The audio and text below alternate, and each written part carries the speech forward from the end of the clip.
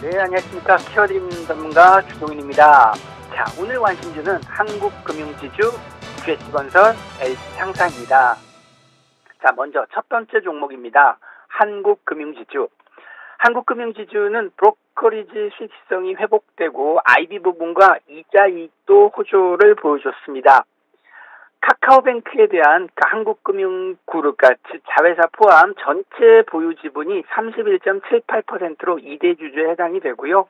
카카오뱅크가 2022년 말까지 여신 규모가 53조 원까지 늘어날 것으로 전망이 되면서 카카오뱅크 공모 시가총액 약 10조 원, 주당 24,531원 수준으로 일회성 영업이익 수익은 약 4,100억 원이 예상이 됩니다. 그래서 2대 주주로서의 카카오뱅크와의 시너지도 기대, 기대가 되고요.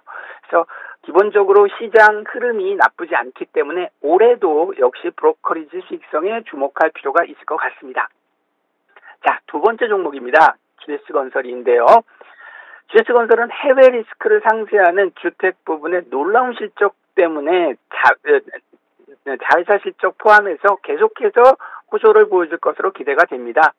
데이터 센터와 2차 전지 재활용 등 다수의 신사업을 추진하고 있는데 이런 신사업 모멘텀도 기대해 볼 수 있고요.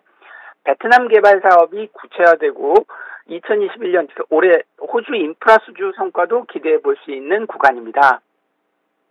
자, 다음 세 번째 종목은 LG 상사입니다. LG 상사는 4분기 전망치를 상회하는 양호행 실적을 발표를 했는데요. 물류 부분도 일회성 손실에 일회성 손실에도 불구하고 에너지와 식량 부분이 호조를 보여줬습니다.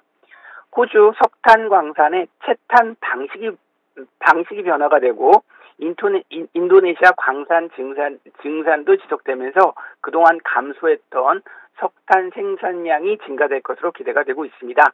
또한 자사주 매입으로 주가의 하방을 방어하는 역할도 기대해 볼 수 있겠습니다. 이상 오늘의 관심주 키워드림 전문가 주동인이었습니다. 감사합니다.